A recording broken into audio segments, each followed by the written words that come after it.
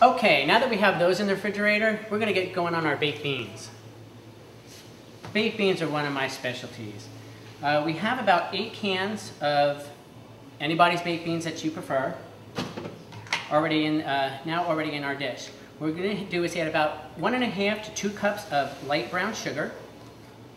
We're gonna add a good half cup, a little bit more if you like it, of some wonderful molasses. And I'm gonna make sure I get all this out of there because I really like the molasses flavor in my beans.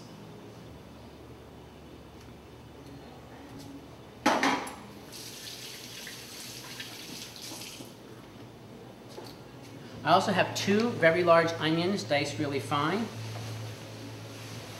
Add those right in.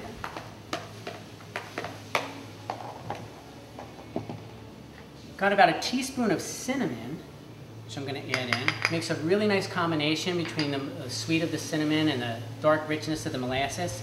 And my little secret, celery seed. I have about two tablespoons of celery seed. So we're going to go ahead, mix this all up. Again, since this is a barbecue type thing for the 4th of July, I just went out and bought one of these little metal tins to make my life easier and clean up a lot easier. We're going to stir this all together, get it nice and blended. We're going to pop this in the oven at 350 degrees and we want it to be in there for a good hour. And since we have an hour and 20 minutes before everybody shows up, we're in good time frame, aren't we? Oh, and one more item. We need to add some ketchup. And again, I'm going to give this about a good cup worth of ketchup. It's just for great flavor. This way you get to have fun. Take out your frustrations of the day on the ketchup bottle.